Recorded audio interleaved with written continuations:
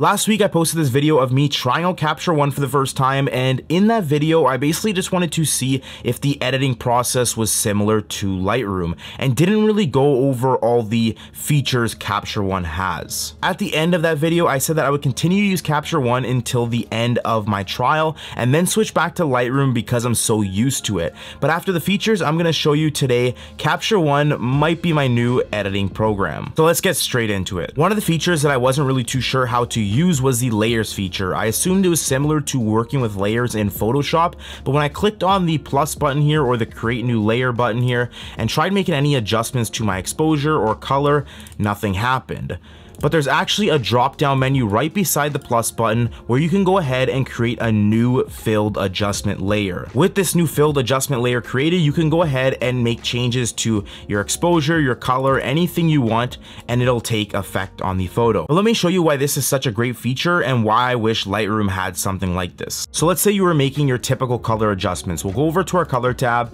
and then we'll just add some green into our shadows. And we're gonna name all these layers here so you know exactly what I'm talking about.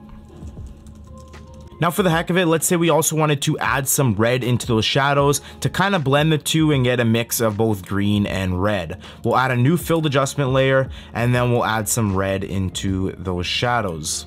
We'll rename this red.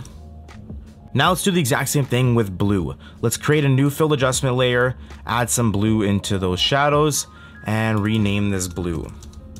And now we have a photo that has green, red, and blue in our shadows. It might not look like it because it kind of balanced out the photo to the middle of the color wheel, but let's change that. If we click on our blue layer and go up to opacity, we can actually change the opacity of each color. I can do the exact same thing for our green layer, and I can do the exact same thing for our red layer. This gives us the ability to really fine tune what colors we want in the shadows of our image. This layer stacking method can be used with our midtones, our highlights, our curve adjustments, basically any adjustment we want. Using layers, you don't just have one tone curve like you do in Lightroom. If we go ahead and create a new filled adjustment layer and go over to our exposure tab and then scroll down to our curve, we can use one layer to create our basic S curve and then we can create a new filled adjustment layer and use this for little minuscule adjustments here. Let's say something like that. And then we can create a new layer to raise that black point. Oh, and remember this issue? I don't know how to uncheck it to see the adjustments it made. Yeah, you can do that by using adjustment layers. You can make all of your exposure edits on one layer, your color edits on another layer, and then just toggle them on or off to see the progress you're making. Did anyone count how many times I've said layer since the beginning of this video? It's a lot. Let's take a look at presets. No, not presets like in Lightroom. Those are called styles in Capture One. This is one of my favorite features. Presets can be used to save adjustments you've made with certain tools. For example, with every portrait that I edit, I usually like to go to clarity and drop this by negative 10 to negative 20 just to take off some of that digital edge but at the same time I don't want to remove any detail in her skin so I'll raise the structure by usually about 10 as well. Again, this is an adjustment I make with almost every single one of my portraits, but if it's an adjustment I have to make with almost every single one of my portraits, why do I have to do it the hard way and adjust the sliders every single time? In Capture One, you don't. All you have to do is go up to this little hamburger looking button and click on save custom preset. Select both clarity and structure, usually they'll be already set. Click save, and then we'll just call this less digital. Now if we go ahead and reset this clarity adjustment, all we have to do is go up to the hamburger looking button and click on our preset that we made less digital. Presets are just like layers where you have the ability to use it with almost every single tool in Capture One. This is where it really gets cool though. You can stack these presets on top of each other. So let's say you're editing a landscape and you usually like to go for those darker, moodier greens.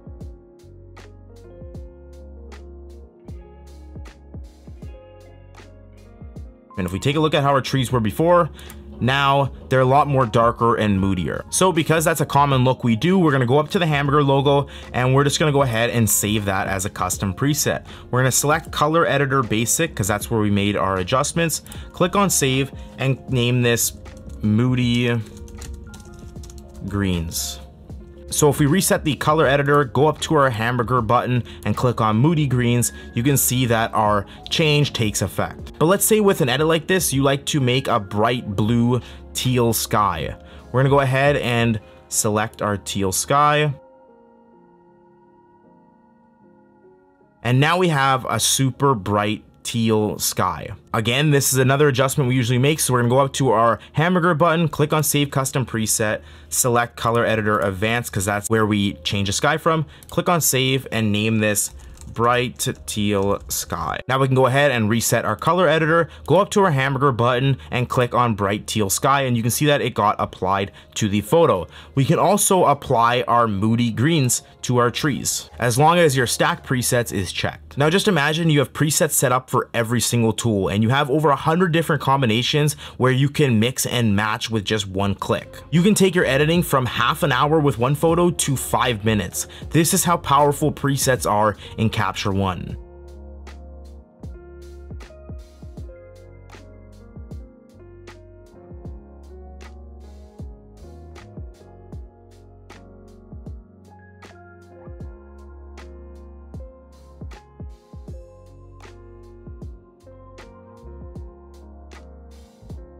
Let's move on to our curves. In Capture One, we have another channel for our curves, and that's Luma. You can see right here that we have the RGB, Luma, red, green, and blue channels. Luma, you guessed it, affects the luminance in your image, but so does the RGB channel. This is true, but the Luma channel only affects the Luma values, while it still protects the saturation of colors in your image. Let me show you. Let's go ahead and create a new filled adjustment layer, and we'll just name this RGB. After our RGB layer has been created, we're gonna go down to our curve, make sure we're on the RGB channel and create a basic S curve. You can see that our image has a lot much more contrast, it's a lot more punchy, and our saturation has been boosted a little bit. Now let's uncheck the RGB layer, create a new filled adjustment layer, and we're gonna name this one Luma. Then we're gonna make sure our Luma layer is selected. We're gonna go down to our curve, select our Luma channel, and create the exact same S curve that we did in our RGB curve. And to do that, I'm gonna go over to our RGB curve and grab the exact same values and import it into our Luma curve. 6448.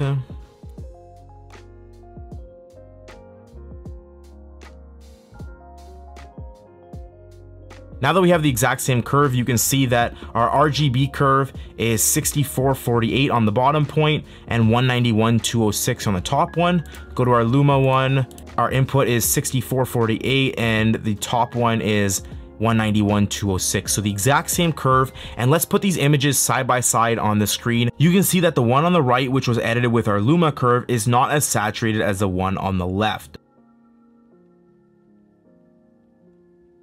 This is important because it allows you to control your contrast and exposure completely separate from the colors in your image. And lastly, Capture One allows you to make multiple exports at the exact same time. So let's say these photos are done and we're ready to export. We're gonna go up to our export button at the very top here, and now we're in our export window. In the top left, you can see that we have export recipes. This is like export presets in Lightroom. You can see that I have mine right here. One for Instagram, this has all my resolution settings that I use for Instagram. One for my website, which is completely different resolutions than what I use for Instagram, and one for client proofing. The proofing recipe also has its own resolution, metadata, but also my watermark on it. To create these, it's super simple. All you have to do is click on the plus button, click on create new recipe, name it whatever you want,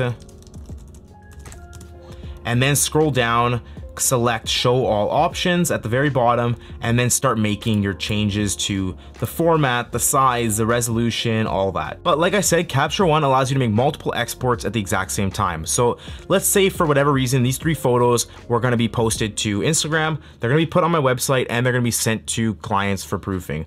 I'm gonna select all three of these recipes here.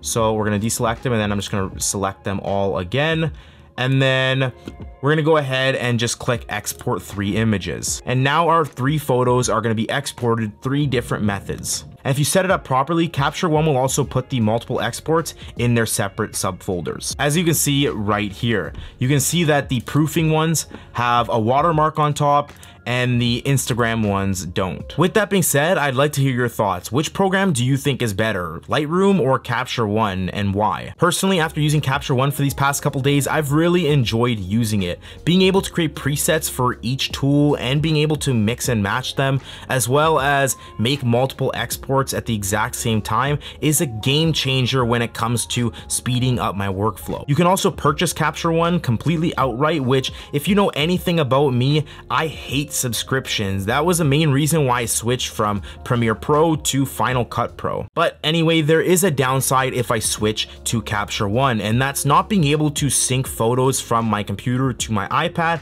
and being able to edit off of both devices, which I actually do quite often. So we'll see. Again, drop a comment and let me know what you think. Make sure you hit that like button. It really helps the channel grow and helps me continue to make videos for you. Hit that subscribe button if you want to see more content like this and hit that bell button to be notified when I post a new video and I'll see you in the next one.